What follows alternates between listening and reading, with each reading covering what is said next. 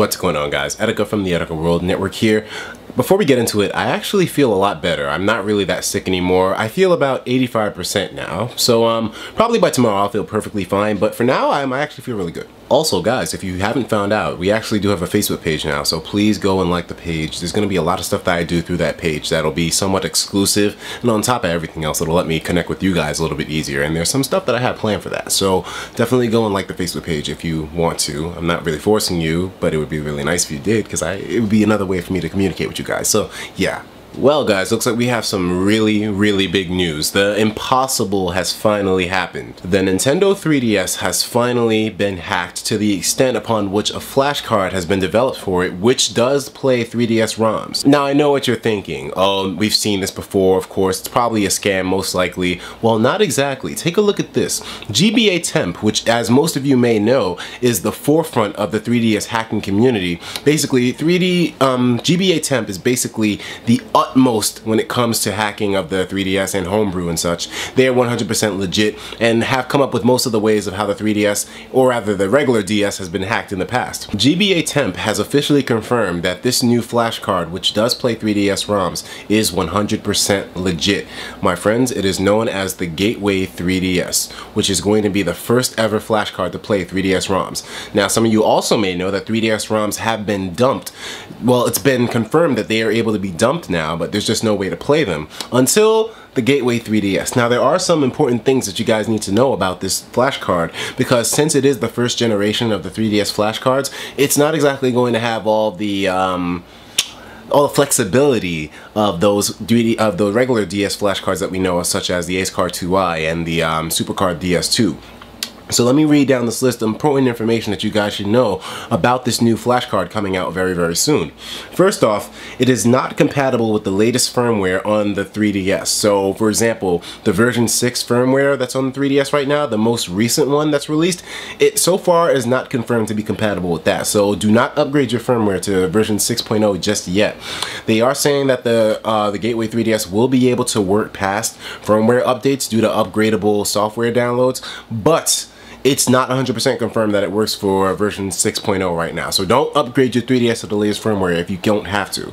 The next thing is that the, the, uh, the Gateway 3DS supports all 3DS ROMs and backups up to date. So anything that comes out in the future, they're not 100% sure, but the support team is actually very, very strong for the Gateway 3DS right now. So most likely it will support future games. So technically you will be able to play Pokemon X and Y on this thing. The Gateway 3DS has the exact same format as the DS flashcards. It's basically a card which you just put a little like micro SD inside of, and then it'll basically play the games. The only thing is that it's limited because with the functionality and how it works on the 3DS, you can only use one micro SD for one ROM and use that with the Gateway 3DS. You can't have multiple ROMs of 3DS games on your micro SD card and use them all at the same time with the um, Gateway 3DS because it recognizes each micro SD card as an individual game and it can't multi-load right now because it is the first generation so of course there will be limits but the fact that we can play 3DS ROMs is astonishing in the first place.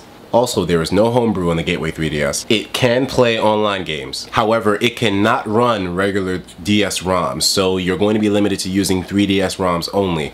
This is probably a restriction that I hopefully get they get I hopefully hope that they get over one day, but um, right now you can only play 3DS ROMs on it. And the final bang about all this is that it's is going to sell for about $80. Now, when you consider how much the first generation flashcards on the regular DS were selling for, this is an amazing price, especially considering 3DS functionality.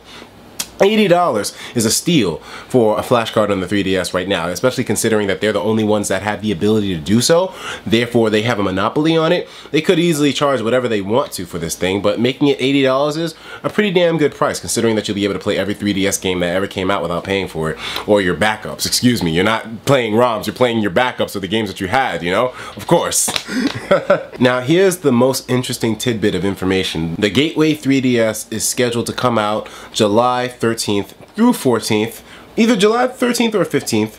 But the thing is, is that Gateway had delayed the release of the product from late June. It was going to come out late June, but they delayed the release of it simply because they wanted to work on the firmware of the device to make it work for firmware 6.0 on the 3DS. We're not sure if it's successful or not, but Gateway 3DS has been very, very adamant on keeping up with their customer service inquiries. So they said that they would let everybody know an update by the end of the week, letting us know if it is going to work for version 6.0 of the firmware of the 3DS or not.